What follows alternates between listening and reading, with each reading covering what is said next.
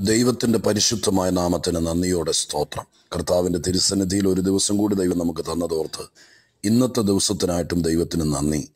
വചനം കേൾപ്പാൻ പ്രതീക്ഷയോടെ കാത്തിരിക്കുന്ന ദൈവമക്കൾ എല്ലാ കർത്താവിന്റെ ദാസന്മാർ സഹോദരി സഹോദരന്മാർ നിങ്ങൾക്കെല്ലാവർക്കും യേശുക്രിസ്തുവിന്റെ നാമത്തിൽ വിനീതമായ സ്നേഹവന്ദനവും അറിയിക്കുന്നു. അനുഗ്രഹപ്രദമായ ഈ ദിവസങ്ങൾക്കായിട്ട് സ്തോത്രം. വചനം വളരെ നന്നായി ഗ്രഹിപ്പാൻ അത് പഠിക്കുവാൻ ഒരുപക്ഷെ നമ്മളിൽ പലരും ജീവിതത്തിൽ ഇതുവരെ വെളിപ്പെട്ട് വന്നിട്ടില്ലാത്ത ദൈവിക വ്യാഖ്യാനങ്ങളും വചനത്തിൽ മറഞ്ഞു കിടക്കുന്ന ആഴമുള്ള ദൂതുകളും പരിശുദ്ധാത്മാവ് നമുക്ക് നൽകി തരുവാൻ പ്രസാദം തോന്നിയ ഈ നല്ല കാലത്തിനായി ദൈവത്തെ സ്തുതിക്കുന്നു ദൈവത്തെ മഹത്വപ്പെടുത്തുന്നു. ദൈവവചനം ഒരു തുടക്കമാണ്. വചനം കേൾക്കാൻ അവസരം ലഭിക്കുന്നത്. വചനം വിശ്വസിക്കാൻ അവസരം ലഭിക്കുന്നത്. വചനം വായിക്കാൻ അവസരം ലഭിക്കുന്നത്. വചനം വ്യാഖ്യാനിച്ചു തരുവാൻ നമുക്ക് ആളുകളെ ലഭിക്കുന്നത്. ദൈവവചന പ്രഭാഷണം കേൾക്കുന്നത് എത്രയോ ആളുകളുടെ ജീവിതത്തിൽ തുടക്കത്തിന് കാരണമായിട്ടുണ്ട്. ദൈവത്തിന്റെ വചനം നമ്മുടെ ജീവിതത്തിലേക്കൊരു വലിയ എൻട്രിയാണ്. നന്മയിലേക്ക് അനുഗ്രഹത്തിലേക്ക് വീണ്ടെടുപ്പിലേക്ക് വിശുദ്ധിയിലേക്ക് ഇതുവരെ അറിയാത്ത മേഖലകളിലേക്ക് ദൈവപ്രസാദത്തിലേക്ക് എല്ലാം ദൈവം നയിക്കേണ്ടതിന് സ്വർഗം അയക്കുന്നത് ദൈവത്തിന്റെ വചനമാണ്. ഈ നാളുകളിൽ പലരുടെ വായിൽ നിന്നും വാക്കിൽ നിന്നും മനസ്സിലാക്കാൻ കഴിയുന്നത് ആഴമേറിയ ദൈവത്തിന്റെ ആലോചനകൾ ദൈവം നമുക്ക് തരുന്നു. ഇത് ഒരു ശുഭകാലത്തിന്റെ തുടക്കമാണ്. ഒരു നന്മയുടെ നാന്തി കുറിക്കലാണ് എന്ന് വിശ്വസിച്ചുകൊണ്ടും വിചാരിച്ചുകൊണ്ടും ഇന്നത്തേക്കുള്ള ദൈവിക ദൂത് നിങ്ങളുമായി പങ്കുവയ്ക്കുവാൻ കർത്താവിന്റെ അമിത കൃപയിൽ ഞാൻ ശരണപ്പെടുന്നു. ഈ ദിവസങ്ങളിൽ വിശിഷ്യ നമ്മൾ ഉപവാസത്തോടും പ്രാർത്ഥനയോടും കൂടെ ഈ ദിവസങ്ങൾ മുന്നോട്ട് പോകുമ്പോൾ കർത്താവ് ഈ ആഴ്ചയിൽ നമുക്ക് ധ്യാനിക്കാൻ പഠിപ്പാൻ ഗ്രഹിപ്പാൻ മുറുകെ പിടിപ്പാൻ തന്നിരിക്കുന്നത് ഒരായുസ് കൊണ്ട് നാം എന്ത് നേടണം? ഈ ജീവിതം തീർന്ന് അക്കരെ നാട്ടിൽ ചെല്ലുമ്പോൾ എന്ത് നേടി എന്നൊരു ചോദ്യത്തെ നമ്മൾ ഫേസ് ചെയ്യേണ്ടി വരും. ആ ചോദ്യത്തിന്റെ മറുപടി ഇവിടെ വെച്ച് നമ്മളെ ദൈവം ഗ്രഹിപ്പിക്കുകയാണ്. ഇന്ന് ചിന്തിക്കാനും ധ്യാനിക്കാനും ആഗ്രഹിക്കുന്നത് തെസലോനിക്ക ലേഖനത്തിൽ നിന്നാണ്. ഒന്ന് തെസ്ലോനിക്കൻ നാലാം അധ്യായം. നാലാം അധ്യായത്തിന്റെ മൂന്ന് നാല് അഞ്ച് ആറ് വാക്യങ്ങൾ ഞാൻ നിങ്ങളെ വായിച്ചു കേൾപ്പിക്കാം. ഒന്നോടെ ആവർത്തിക്കുന്നു. ഒന്ന് തെസലോനിക്കർ നാലാം അധ്യായം മൂന്ന് മുതൽ ആറ് വരെയുള്ള വാക്യങ്ങൾ. ഇങ്ങനെയാണ് വാക്യം. ദൈവത്തിന്റെ ഇഷ്ടമോ നിങ്ങളുടെ ശുദ്ധീകരണം തന്നെ? നിങ്ങൾ ദുർനടപ്പ് വിട്ടൊഴിഞ്ഞ് ഓരോരുത്തൻ ദൈവത്തെ അറിയാത്ത ജാതികളെ പോലെ കാമവികാരത്തിലല്ല വിശുദ്ധീകരണത്തിലും മാനത്തിലും താൻ താന്റെ പാത്രത്തെ നേടിക്കൊള്ളട്ടെ. ഈ കാര്യത്തിൽ ആരും അതിക്രമിക്കുകയും സഹോദരനെ ചതിക്കുകയും അരുത്. ഞങ്ങൾ നിങ്ങളോട് മുമ്പേ പറഞ്ഞതുപോലെ ഈ വകയ്ക്കൊക്കെയും പ്രതികാരം ചെയ്യുന്നവൻ കർത്താവല്ലോ. പ്രായോഗിക ക്രിസ്തീയ ജീവിതം. ആ മേഖല നന്നായി കൈകാര്യം ചെയ്തിട്ടുള്ളൊരു പുസ്തകമാണ് വിശുദ്ധ ബൈബിൾ. സ്വർഗമുണ്ട് നരകമുണ്ട് അവിടെ ചെല്ലാൻ പറ്റിയ നല്ലതാണ് എന്ന് മാത്രം പറഞ്ഞ് മനുഷ്യന്റെ ചിന്താഗതികളെ ഒരു അജ്ഞാതമായിരിക്കുന്ന നിലവാരത്തിൽ എത്തിച്ചു നിർത്തുന്നതല്ല വിശുദ്ധ ബൈബിൾ. നിത്യതയുണ്ട് സ്വർഗമുണ്ട് സ്വർഗരാജ്യ പ്രവേശനമുണ്ട് അവിടെ യുഗായുഗങ്ങൾ ദൈവത്തോടുകൂടെ പറദീസിൽ വാഴാം എന്നത് വേദപുസ്തകത്തിന്റെ ഏറ്റവും ആത്യന്തിക ഉപദേശമാണ് ബൈബിൾ ഉയർത്തിക്കാണിക്കുന്ന സത്യമാണ്. അപ്പോൾ തന്നെ ഇവിടെ ഒരു ജീവിതമുണ്ട്. ഭൂമിയിൽ എഴുപത് അല്ലെങ്കിൽ എൺപത്.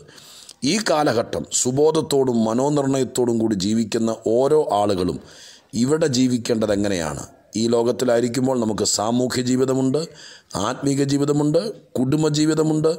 ഇതിനകത്തെല്ലാം കാതലായ ഉത്തരവാദിത്വങ്ങളുമുണ്ട് പോരാ. ഇവിടെയെല്ലാം ദൈവത്തിന് കർക്കശവും നിർബന്ധവുമായിരിക്കുന്ന നിയമങ്ങളും ഉപദേശങ്ങളുമുണ്ട്. എങ്ങനെയെങ്കിലും ജീവിക്കാൻ ദൈവത്തിന്റെ ഭൂമിയിൽ ദൈവത്തിന്റെ മനുഷ്യനെ ദൈവം അനുവദിച്ചിട്ടില്ല. സാത്താന്റെ പ്രേരണയിൽ അവനവന് ബോധിച്ചതുപോലെ ജീവിച്ച കാലം പുരാതന കാലം മുതൽ തുടങ്ങിയതാണ്. ഇന്നും അതുണ്ട്. പക്ഷെ അതിനെല്ലാം ശിക്ഷാവധിയുണ്ട്. ഇവിടെ കുടുംബഭദ്രതയെ ചൂണ്ടിക്കാണിക്കുന്ന ഒരു ഭാഗമാണ് പൗലോസിലൂടെ പരിശുദ്ധാത്മാവ് തെസലോനിക്ക സഭയ്ക്ക് എഴുതിയിരിക്കുന്നത്. പറഞ്ഞിരിക്കുന്ന വാക്കുകൾ നിങ്ങൾ കണ്ടോ? ദൈവത്തിന്റെ ഇഷ്ടം നിങ്ങളുടെ ശുദ്ധീകരണമാണ്.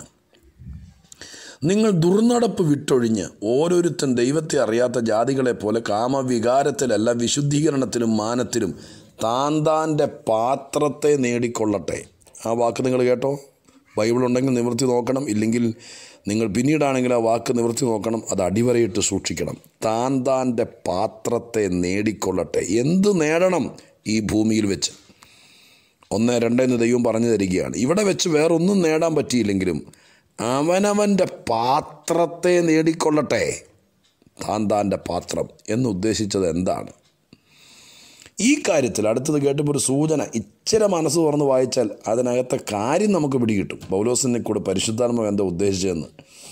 ഈ കാര്യത്തിൽ ഏത് കാര്യത്തിൽ? താൻ താന്റെ പാത്രത്തെ നേടുന്ന കാര്യത്തിൽ ആരും അതിക്രമിക്കുകയും സഹോദരനെ ചതിക്കുകയും അരുത്. അതെന്താ അങ്ങനെ പറയുന്നത് പാത്രം നേടുന്ന കാര്യത്തിൽ ചതിക്കരുത് സഹോദരനെ ചതിക്കരുത് അതിക്രമിക്കരുത് എന്നൊക്കെ എഴുതി എന്തിനാ? എന്റെ അടുത്തത് എന്താ എഴുതിയിരിക്കുന്നത്?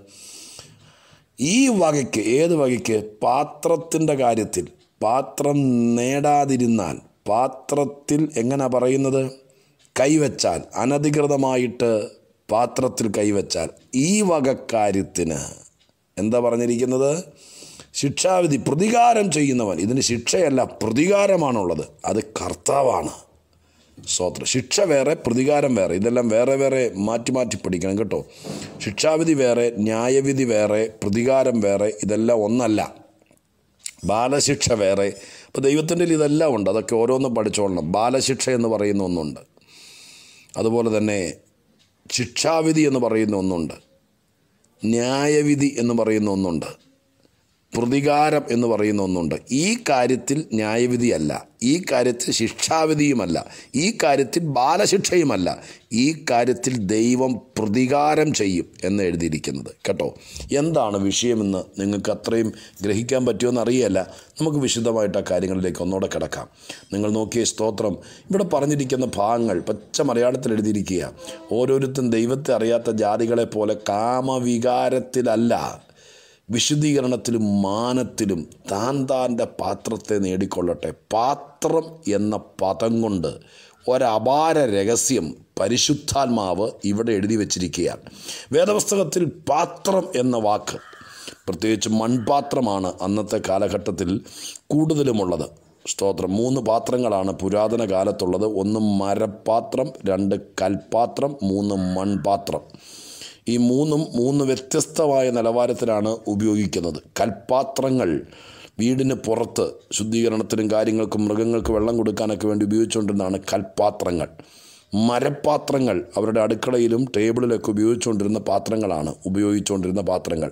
മൺപാത്രങ്ങൾ കൂടുതലും അവരുടെ ഉൾമുറികൾക്കകത്ത് നിക്ഷേപങ്ങൾ സ്വരൂപിച്ച് വയ്ക്കുവാനും മൺപാത്രങ്ങൾക്കകത്ത് അന്നത്തെ കാലത്ത് അവരുടെ അവരുടെ എന്താ സ്റ്റോറുകൾ അല്ലെങ്കിൽ അവരുടെ ലോക്കറുകളൊക്കെ പോലെ ഇന്നത്തെ ലോക്കറുകൾ പോലെ കാര്യങ്ങൾ സൂക്ഷിച്ചു വയ്ക്കുന്നതാണ്. ആധാരവും അവരുടെ സമ്പത്തും ഒക്കെ സൂക്ഷിച്ചു വയ്ക്കുന്നതാണ് മൺപാത്രങ്ങൾ. ഓക്കെ അവിടെ ഇരിക്കട്ടെ. ആ കാര്യങ്ങളിലേക്ക് ഒരു പാത്രമല്ല നമ്മുടെ ചിന്താവിഷയം ഞാൻ വേദപുസ്തകത്തിനകത്ത് പാത്രത്തെ കൊണ്ട് മനുഷ്യനെ ബോധിപ്പിച്ചിരിക്കുന്ന ചില വാക്കുകൾ നിങ്ങളുടെ ശ്രദ്ധയിൽ കൊണ്ടുവരാം. കുരിന്തി ലേഖനത്തിൽ പൗലോസ് പറയുന്നത് കേട്ടിട്ടില്ലേ? രണ്ട് കുരിന്തർ നാലിന്റെ ഏഴ്. ഈ ഈ അത്യന്ത ശക്തി ഞങ്ങളുടെ സ്വന്തമെന്നല്ല ദൈവത്തിന് ദാനമെന്ന് വരേണ്ടതിന് ഈ നിക്ഷേപം ഞങ്ങളുടെ മൺപാത്രങ്ങളിലാണോ. അപ്പം ഞങ്ങളുടെ മൺപാത്രം എന്ന് പറയുന്നത് ശരീരത്തെയാണ് ഞങ്ങളെയാണ് ഉദ്ദേശിക്കുന്നത് അവിടെ പൗലോസ് ഉദ്ദേശിക്കുന്നത് കേട്ടോ. അടുത്തത് അപ്പോസ്റ്റൽ പ്രവൃത്തി ഒൻപതാം അധ്യായത്തിന്റെ പതിനഞ്ചാം വാക്യത്തിൽ പൗലോസിനെ കുറിച്ച് കൊർന്നല്യോസിനോട് കർത്താവ് പറയുന്ന വാക്കിതാണ് സ്തോത്രം. ആ വാക്ക് ഇങ്ങനെ അനന്യാസിനോട് കൊർണല്യോസിനല്ല അനന്യാസിനോട് കർത്താവ് പറയുന്ന വാക്കിതാണ് പൗലോസിനെ കുറിച്ച് പറയുന്നു ഞാൻ അവനെ ജാതികൾക്കും രാജാക്കന്മാർക്കും യഹൂദന്മാർക്കും മധ്യത്തിൽ എന്റെ നാമം വഹിപ്പാൻ തെരഞ്ഞെടുത്തിരിക്കുന്ന പാത്രമാണ്. പാത്രം. അപ്പോൾ അവിടെ കണ്ടോ? പാത്രം മനുഷ്യനെ ദൈവം പൗലൂസിനെ ദൈവം പാത്രമായിട്ട് അവിടെ പറഞ്ഞിരിക്കുകയാണ്. സ്തോത്രം. നോക്കി സങ്കീർത്തനം മുപ്പത്തൊന്ന് പന്ത്രണ്ടിൽ ദാവീദ് തന്റെ അനുഭവം പറയുന്നിടത്ത് പറയുന്നുണ്ട് ഞാനൊരു ഉടഞ്ഞ പാത്രം പോലെ ആയിരിക്കുന്നു. ഉടഞ്ഞ പാത്രം. സ്തോത്രം. ഹല്ലേലൂയ. ഇനി അടുത്തത് റോമാലേഖനം ഒമ്പതാം അധ്യായത്തിന്റെ ഇരുപത്തിമൂന്ന് ഇരുപത്തിനാല് വാക്യങ്ങൾക്കകത്ത് അവിടെ പറയപ്പെട്ടിരിക്കുന്ന നമ്മുടെ നമ്മുടെ ജീവിതത്തിൽ വന്ന വലിയ വ്യത്യാസത്തെക്കുറിച്ച് പറയപ്പെട്ടിരിക്കുന്ന ഒരു വാക്കുണ്ട് റോമാലേഖനം ഒമ്പതാം അധ്യായത്തിന്റെ ഇരുപത്തി മൂന്നാമത്തെ വാക്യം ഇരുപത്തി നാലാമത്തെ വാക്യം എഴുതിയിരിക്കുന്ന ഇങ്ങനെയാണ്. ജാതികളിൽ നിന്നും വിളിച്ച് തേജസ്സിനായി മുന്നൊരുക്കിയ കരുണാപാത്രങ്ങളായ നമ്മിൽ തന്റെ തേജസ്സിന്റെ ധനം വെളിപ്പെടുത്തുവാനും ഇച്ചിട്ടിച്ചിട്ട് നാശയോഗ്യമായ കോപപാത്രങ്ങളെ വളരെ ദീർഘക്ഷമയോടെ സഹിച്ചു എങ്കിൽ. അപ്പോൾ അവിടെ രണ്ട് തരം പാത്രത്തെക്കുറിച്ച് പറയുന്നു. ഒന്ന് സ്തോത്രം പണ്ട് നമ്മൾ കോപപാത്രങ്ങളായിരുന്നു. ഇപ്പോൾ നമ്മൾ കരുണാപാത്രങ്ങളായി മാറിയിരിക്കുന്നു. അതെങ്ങനെ സംഭവിച്ചു. സ്തോത്രം. ഒരു പാത്രത്തിനകത്ത് നമ്മുടെ വീട്ടിലൊക്കെ പഞ്ചസാര പാത്രം ചായപ്പൊടി പാത്രം പണ്ടത്തെ വാക്കാണോ? ചായപ്പൊടി പാത്രം ഉപ്പുപാത്രം എന്നൊക്കെ പറയുന്ന അരിപ്പാത്രം എന്നൊക്കെ പറയുന്ന പല പാത്രമുണ്ട് നമ്മുടെ വീടിനകത്ത്. നിങ്ങൾ ഒരു സൂപ്പർ മാർക്കറ്റിലോ അല്ലെങ്കിൽ ഒരു സ്റ്റോറിലോ ചെന്നിട്ട് അരിപ്പാത്രം ഉണ്ടോ ചേട്ടാ? പഞ്ചസാര പാത്രം ഉണ്ടോ ചേട്ടാ എന്ന് ചോദിച്ചു കഴിഞ്ഞാൽ അവിടെ പഞ്ചസാര പാത്രം എന്ന് പറഞ്ഞൊരു പാത്രം ഉണ്ടാക്കി വെച്ചിട്ടില്ല. ഉപ്പ് ഉപ്പുപാത്രം എന്ന് പറഞ്ഞൊരു പാത്രം ഉണ്ടാക്കി വെച്ചിട്ടില്ല. നമ്മളൊരു പാത്രം വാങ്ങിച്ച് വീട്ടിൽ കൊണ്ടുവന്ന് അതിനകത്ത് കാപ്പിപ്പൊടി ഇട്ടപ്പോൾ അത് കാപ്പിപ്പൊടി പാത്രമായി. നമ്മളൊരു ഒരു പാത്രം മേടിച്ച് വീട്ടിൽ കൊണ്ട് അത് ഉപ്പിട്ട് വെച്ചപ്പോൾ നമ്മുടെ വീട്ടിൽ അത് ഉപ്പുപാത്രമായി വേറൊരു മനുഷ്യൻ ആ കടയിൽ നിന്ന് അതേ രൂപവും അതേ വിലയും കൊടുത്ത് ഒരു പാത്രം മേടിച്ചുകൊണ്ട് വീട്ടിൽ കൊണ്ടുപോയി. അത് മരുന്നിട്ട് വെച്ചപ്പോൾ മരുന്ന് പാത്രമായി. പഞ്ചസാര ഇട്ട് വെച്ചപ്പോൾ പഞ്ചസാര പാത്രമായി. ഓരോരുത്തൻ വാങ്ങിച്ചിട്ട് അതിനകത്ത് എന്ത് നിക്ഷേപിക്കുന്നു എന്ത് ഇട്ട് വെക്കുന്നു അതിനനുസരിച്ച് ആ പാത്രത്തിന്റെ പേര് മാറുന്നത്. സ്തോത്രം നോക്കിയേ അങ്ങനെയാണെങ്കിൽ കർത്താവായ യേശുവിനെ കണ്ടെത്തുന്നതിനേക്കാൾ മുമ്പ് സർവശക്തനായ ദൈവത്തെ തിരിച്ചറിയുന്നതിനേക്കാൾ മുമ്പ് ക്രിസ്തുവേശുവിന്റെ ചോരയാൽ നമ്മളെ കഴുകുന്നതിനേക്കാൾ മുമ്പ് സ്വർഗത്തിലെ രക്ഷ ഈ പാത്രത്തിൽ പകരുന്നതിനേക്കാൾ മുമ്പ് നമ്മളുടെ അകത്ത് ചൊരിയപ്പെട്ടതും നമ്മുടെ അകത്ത് സംഗ്രഹിച്ചു വെച്ചിരുന്നതും ദൈവത്തിന്റെ കോപമായിരുന്നു.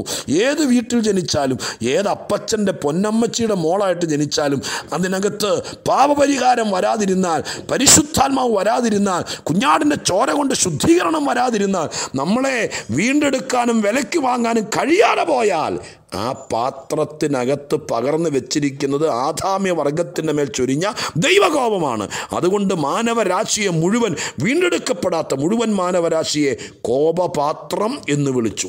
എന്നാൽ കരുണാസമ്പന്നനായ ദൈവത്തിന്റെ മഹാദയ കൊണ്ടും കൃപ കൊണ്ടും ദൈവത്തിന്റെ വചനം കേട്ടും ദൈവത്തെ അടുത്തറിയാനും ഒരുപക്ഷെ സ്വന്തം വീടും സ്വന്തം നാടും പ്രിയപ്പെട്ടവരെയും വിട്ട് മറ്റെവിടെയോ പഠിക്കാനോ ജോലിക്കോ പോയപ്പോൾ ഇന്ത്യയുടെ ഏതെങ്കിലും മെട്രോപൊളിറ്റൻ സിറ്റിയിലോ ലോകത്തിന്റെ ഏതെങ്കിലും രാജ്യങ്ങളിൽ പോയപ്പോഴോ ഭാഗ്യവശാൽ കള്ളു കുടിക്കുന്നവരും മോശപ്പെട്ട നിലവാരത്തിൽ ജീവിക്കുന്നവരും വൈകുന്നേരമാകുമ്പോൾ കമ്പനി കൂടാൻ വരുന്നവരും അല്ലായിരുന്നു നമ്മളീ പലർക്കും കൂട്ടുകിട്ടിയത്. അവിടെ ചെന്നപ്പോൾ പ്രാർത്ഥിക്കുന്നവരെ കിട്ടി സഭായോഗത്തിന് പോകുന്നവരെ കിട്ടി ദൈവത്തെ അറിയുന്നവരെ കിട്ടി. അവരുടെ കൂടെ ചെന്നു കണ്ടു കേട്ടു മിണ്ടി പറഞ്ഞു. അങ്ങനെ കർത്താവിനെ അറിയാൻ ഭാഗ്യം ഒരുക്കി ആ ഭാഗ്യം നമ്മുടെ അകത്ത് ചൊരിഞ്ഞിരുന്ന കോപം ദൈവം തുടച്ചു കളഞ്ഞു. എന്നിട്ട് അതിനകത്ത് ദൈവത്തിന്റെ കരുണ പകർന്നു. അങ്ങനെ കോപപാത്രങ്ങളെ കരുണാപാത്രങ്ങളാക്കി മാറ്റി. നിങ്ങൾ കേൾക്കണം. ഹല്ലേലൂയ. മനുഷ്യന് വന്ന രൂപാന്തരം നമ്മുടെ ടൈറ്റിൽ മാറിയത് കണ്ടോ? സ്തോത്രം വീണ്ടെടുക്കപ്പെടുമ്പോൾ രക്ഷിക്കപ്പെടുമ്പോൾ കൃപയിലേക്ക് വരുമ്പോൾ കർത്താവിനെ അറിയുമ്പോൾ നമ്മുടെ ടൈറ്റിൽ നമ്മുടെ പേര് നമ്മുടെ പാത്രത്തിൽ ഒട്ടിച്ചിരുന്ന ആ ലേബല ദൈവം മാറ്റി. ഹല്ലേലൂയ. പണ്ട് എന്നിൽ ഒട്ടിച്ചിരുന്നത് കോപപാത്രം എന്നായിരുന്നു. ആരും കണ്ടില്ല. ദൈവത്തിന് അറിയാമായിരുന്നു. എന്നാൽ എന്റെ യേശു എന്നിൽ കരുണ കാണിച്ചപ്പോൾ കോപപാത്രത്തിന്റെ ലേബൽ മാറ്റിയിട്ട് ദൈവം ആ സ്ഥാനത്ത് കരുണാപാത്രമാക്കി എന്നെ പുറത്തു കൊണ്ട് അവതരിപ്പിച്ചു. മനസ്സിലാകുന്നു? അപ്പോൾ പാത്രം എന്ന വാക്ക് കൊണ്ട് മനുഷ്യനെയും മനുഷ്യ ജീവിതത്തെയും മനുഷ്യ ശരീരത്തെയൊക്കെ ചിത്രീകരിക്കുക. ഇവിടെ പറഞ്ഞ കാര്യം പറഞ്ഞില്ലല്ലോ. തെസലോനിക്ക ലേഖനത്തിനകത്ത് സ്തോത്രം പരിശുദ്ധാത്മാവ് ഉദ്ദേശിച്ചത് പറയാം. ഓരോരുത്തൻ താൻ താന്റെ പാത്രത്തെ നേടിക്കൊള്ളട്ടെ. ഈ കാര്യത്തിൽ ആരും അതിക്രമിക്കരുത് കൂട്ടുകാരനെ ചതിക്കരുത്. കാമവികാരത്തിലും സ്തോത്രം ഒന്നും ഇട ഇടപെട്ടിട്ട് നിങ്ങൾ നിങ്ങളെ തന്നെ നശിപ്പിക്കരുത് എന്നുദ്ദേശിച്ചത് ഞാൻ ഇനി വളച്ചുകെട്ടില്ലാതെ തുറന്നു പറയാം. ജീവിത പങ്കാളി. ഒരു മനുഷ്യന് അവന്റെ പങ്കാളിയുമായി മാത്രമേ ശാരീരികമായിട്ടോ അവന്റെ ജീവിതത്തിന്റെ എല്ലാ കാര്യത്തിനകത്തുമുള്ള നിങ്ങൾക്ക് മനസ്സിലാകുന്നുണ്ടല്ലോ ഇത് പാത്രം എന്നാണ് പറയുന്നത്. അപ്പോൾ പാത്രം എന്ന് പറയുന്നത് ജീവിത പങ്കാളിയാണ്. ഒരു പുരുഷനെ സംബന്ധിച്ച് സ്വത സ്ത്രീയും സ്ത്രീയെ സംബന്ധിച്ച് പുരുഷനും ഭാര്യയെ സംബന്ധിച്ച് ഭർത്താവും ഭർത്താവിനെ സംബന്ധിച്ച് ഭാര്യയും സ്തോത്രം. അതാണ് ഇവിടെ പാത്രം താൻ താന്റെ പാത്രം എന്ന് പറയുന്നത്. അപ്പോൾ അവനവന്റെ ജീവിത പങ്കാളിയെ നേരണം. ഈ കാര്യത്തിൽ ആദ്യം അതിക്രമിക്കരുത്. സ്തോത്രം എന്ന് പറഞ്ഞാൽ വേറെ ഒരു പാത്രത്തിൽ പോയി എന്ത് ചെയ്യരുത്? ഒരു ഒരു കാരണവശാലും വേറൊരു പാത്രത്തെ ലക്ഷ്യം വെക്കരുത്. നിനക്കൊരു പാത്രം ദൈവം തന്നിട്ടുണ്ട്. നിന്റെ പാത്രത്തെ നീ നേടിക്കൊള്ളണം. ഈ വിക കാര്യങ്ങളിൽ അത്രയൊക്കെ അവിടെ പറയാൻ ഒക്കുന്നുള്ളൂ. നിങ്ങൾ ആ ഭാഗം ആവർത്തിച്ച് വായിച്ച് മനസ്സിലാക്കുക. അപ്പോൾ സ്തോത്രം ഈ കാര്യത്തിൽ കൂട്ടുകാരനെയോ മറ്റൊരുത്തിനെയോ ഒന്നും ചതിക്കരുത്. കാര്യം ഇൻക്ലൂഡഡ് ആണ്. നിങ്ങൾക്ക് അണ്ടർസ്റ്റുഡ് ആണ്. മനസ്സിലാകുന്നുണ്ടല്ലോ ഇതിന് സ്തോത്ര ശിക്ഷയല്ല. പ്രതികാരമാണുള്ളത്. പ്രതികാരം. വേറെ പ്രതികാരം വേറെ. സ്വോത്ര ഹലലുയ രണ്ടും രണ്ട് രീതി കണക്കാക്കണം. അപ്പോൾ നോക്കണേ ഒരു മനുഷ്യൻ ഈ ഈ വിഷയം നിങ്ങൾ ഗ്രഹിക്കണേ കുറച്ചുകൂടെ പ്രാർത്ഥിക്കണേ. ഒരു വാട്സാപ്പ് മെസ്സേജിൽ ഒരു പൊതുവായ സോഷ്യൽ മീഡിയയിൽ കൈകാര്യം ചെയ്യുന്നൊരു ദൂതിനകത്ത് ഇതിനേക്കാൾ അപ്പുറം അത് സവിസ്തരമായി പ്രതിപാദിക്കുന്നത് സ്തോത്രം യുക്തിയല്ല. അതുകൊണ്ട് നിങ്ങളുടെ ചിന്തയ്ക്കകത്ത് തരിക നിങ്ങളുടെ ഫാമിലി ലൈഫ് നിങ്ങളുടെ കുടുംബജീവിതം നിങ്ങളുടെ ദാമ്പത്യ ജീവിതം. നിന്റെ പാത്രത്തെ നേടാൻ നിനക്ക് ഉത്തരവാദിത്വമുണ്ട്. സ്തോത്രം. നിനക്ക് ഉത്തരവാദിത്വമുണ്ട്. നീ നേടിക്കൊള്ളണം. ഇവിടെ വെച്ച് സ്തോത്രം നീ അത് നേടാതെ നാട്ടുകാരെ മുഴുവൻ നന്നാക്കി ഒത്തിരി ഉപസിച്ചു പ്രാർത്ഥിച്ചു പക്ഷെ നിന്റെ പങ്കാളിയെ നിനക്ക് നേടാൻ പറ്റിയില്ല. ബൈബിളിൽ എത്രയോ പ്രാവശ്യം പറയുന്നുണ്ട് നിന്റെ നല്ല നടപ്പ് നിന്റെ പ്രാർത്ഥന നിന്റെ ജീവിതം നിന്റെ വിശുദ്ധി നിന്റെ താഴ്മ നിന്റെ വിനയം നിന്റെ ക്ഷമ ഇതെല്ലാം നിന്റെ പാത്രത്തെ നേടാൻ ഉപകരിക്കും. അപ്പോൾ വേറെ ഒന്നും നേടാൻ പറ്റിയില്ലെങ്കിലും വേറെ ആരെയും നേടാൻ പറ്റിയില്ലെങ്കിലും കൊട്ടാരം പണിയാൻ പറ്റിയില്ലെങ്കിലും കോടിക്കണക്കിന് രൂപ ഉണ്ടാക്കാൻ പറ്റിയില്ലെങ്കിലും നാട്ടുകാർ ആൾക്ക് മുഴുവൻ സഹായം കൊടുക്കാൻ പറ്റിയില്ലെങ്കിലും ദശാംശം കൊടുക്കാൻ ഒത്തില്ലെങ്കിലും ഇനി എവിടേക്കെങ്കിലും സുശേഷ വേലയ്ക്ക് പണം കൊടുക്കാൻ പറ്റിയില്ലെങ്കിലും പാവപ്പെട്ടവരെ കൈത്താങ്ങൽ കൊടുക്കാൻ പറ്റിയില്ലെങ്കിലും എന്റെ പൊന്ന് കൂടപ്പുറപ്പുകളെ സ്വന്തം പാത്രത്തെ നേടാൻ പറ്റിയില്ലെങ്കിൽ അവിടെ ചെല്ലുമ്പോൾ ചോദിക്കും നീ എന്തോ ചെയ്തുകൊണ്ടിരിക്കുകയായിരുന്നു? ഒരു ആയുസ് കിട്ടിയിട്ട്. കുടുംബജീവിതം കിട്ടി നാൽപ്പത്തഞ്ച് കൊല്ലം ജീവിച്ചിട്ട് നിന്റെ പാത്രത്തെ കളഞ്ഞിട്ടാണ് വന്നത്? നീ ചെയ്യേണ്ടത് ചെയ്തില്ല കൊടുക്കേണ്ടത് കൊടുത്തില്ല. സ്തോത്രം അല്ലെങ്കിൽ അതുകൊണ്ട് നിന്റെ പാത്രം നിന്റെ കൈവിട്ടുപോയി. വേറെ വഴിക്ക് തിരിഞ്ഞു. കൂട്ടുകാരന്റെ പാത്രത്തെ തപ്പിപ്പോയി. കൂട്ടുകാരിയുടെ പാത്രത്തെ തപ്പിപ്പോയി. ഞാൻ പറയുന്നതിന്റെ സഭ്യമായ ഭാഷ എടുക്കണം. മനസ്സിലായോ? ഇതിന് കണക്ക് പറയേണ്ടി വരും. നീ നിന്റെ പാത്രത്തെ നേടണം. അത് ദൈവത്തിന്റെ ഉപദേശമാണ് വേദപുസ്തകത്തിന്റെ ഉപദേശമാണ്. ഇങ്ങനെയുള്ള ഉപദേശങ്ങൾ എഴുതിയിരിക്കുന്ന പുസ്തകം ലോകത്തിൽ വേറെ കിട്ടിയല്ല ഇത്ര കൃത്യമായ ദാമ്പത്യ ജീവിതത്തിന്റെ മേഖലകളിൽ പോലും കണ്ണുവെച്ച് ഒരിക്കൽ പോലും അതിൽ പോലും ചതിക്കപ്പെടരുതെന്ന് വിചാരിച്ച് ഇത്ര കൃത്യനിഷ്ഠമായ ഉപദേശങ്ങൾ തിരുവഴുത്തിനകത്തുള്ളതുപോലെ വേറെങ്ങും കിട്ടിയല്ല ഇത്ര സ്പഷ്ടമായ ദൂതും ഉപദേശവും ജീവിതത്തിൽ തന്നിട്ട് നമ്മളിതൊന്നും അറിഞ്ഞില്ല എന്ന് പറഞ്ഞ് നടന്നാൽ ദൈവത്തോട് കണക്ക് പറയേണ്ടി വരും. നീ എന്ത് നേടി? നിന്റെ പങ്കാളിയെ നിന്റെ പാത്രത്തെ മറ്റൊരുത്തിന് കൊടുത്തോ? നിന്റെ പാത്രത്തെ മറ്റൊരുത്തൻ കൊണ്ടുപോയോ? നിന്റെ പാത്രത്തെ മറ്റൊരാൾ കൈയിട്ട് വാരിയോ? നിന്റെ പാത്രത്തെ നീ നേടിക്കൊള്ളണം. ദൈവത്തോട് ചോദിച്ചോളണം ഞാൻ എന്ത് ചെയ്യണമെന്ന്. ആരോഗ്യവും സന്തോഷവും കൃപയും എല്ലാം ചോദിച്ച് വാങ്ങിച്ച് അവനവന്റെ പാത്രത്തെ നേടുക. പ്രാർത്ഥിക്കുക പരിശുദ്ധ ദൈവമേ ഞങ്ങളുടെ സ്വർഗീയ പിതാവേ ഈ ആയസിൽ ഞങ്ങൾ വേറൊന്നും നേടിയില്ലെങ്കിലും ഇവിടെ കൊട്ടാരവും സാമ്രാജ്യവും ഒന്നും നേടിയില്ലെങ്കിലും ഇവിടെ പതിനായിരം ആത്മാക്കളെ നേടിയില്ലെങ്കിലും സ്വന്തം പാത്രത്തെ നേടിയില്ലെങ്കിൽ കണക്ക് പറയേണ്ടി വരും. ഇതിന് പ്രതികാരമുണ്ട് എന്ന് ദൈവത്തിന്റെ വചനത്തിൽ ഞങ്ങൾ കണ്ടു. അപ്പാ ഞങ്ങളുടെ മക്കളെ അനുഗ്രഹിച്ച് പ്രാർത്ഥിക്കുന്നു. എല്ലാ കുടുംബങ്ങളും അവനവന്റെ പാത്രത്തെ നേടട്ടെ. സന്തോഷവും സംതൃപ്തി എല്ലാം കൊടുത്ത് ദൈവസന്നിധിയിൽ സംതൃപ്തിയുള്ള ജീവിതം നയിപ്പാനുള്ള പരിജ്ഞാനവും കൃപയും ഈ കരുണാപാത്രങ്ങൾക്ക് കൊടുത്ത് അനുഗ്രഹിച്ചേക്കണം. യേശുവിൻ നാമത്തിൽ പ്രാർത്ഥിക്കുന്നു. കേൾക്കണേ സ്വർഗീയ പിതാവേ. ആമേൻ.